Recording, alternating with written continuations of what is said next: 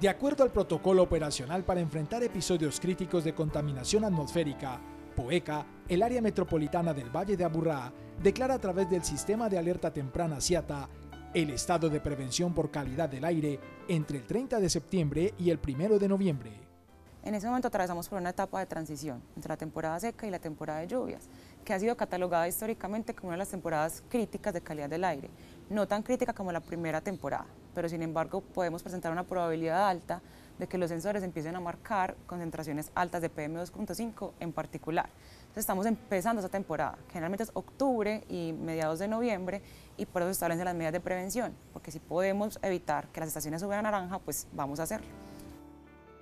De cara a los retos que plantea la calidad del aire en el Valle de Aburrá, el sistema de alerta temprana CIATA ha evolucionado en sus herramientas de monitoreo. Entonces, además de haber crecido en, en, sensores que monitorean como tal las concentraciones, pues además hemos crecido en monitoreo meteorológico. Sabemos que es la estabilidad atmosférica, los perfiles de temperatura, tenemos instrumentos que nos ayudan a medir los vientos, las lluvias, la humedad, que todo eso junto nos permite hacer una evaluación muy holística de cómo está la calidad del aire hoy, cómo estará mañana y cómo evolucionará y poder hacer esos pronósticos y predicciones que nos ayudan a declarar esos estados de prevención.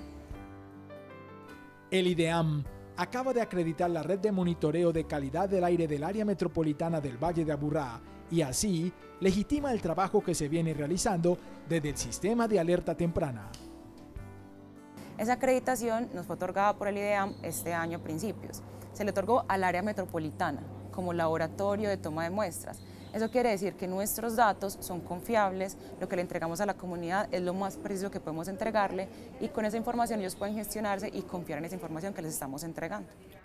El conocimiento de la ciudadanía sobre los fenómenos meteorológicos y la calidad del aire en el Valle de Aburrá ha ayudado al CIATA en el desarrollo de sus sistemas de medición.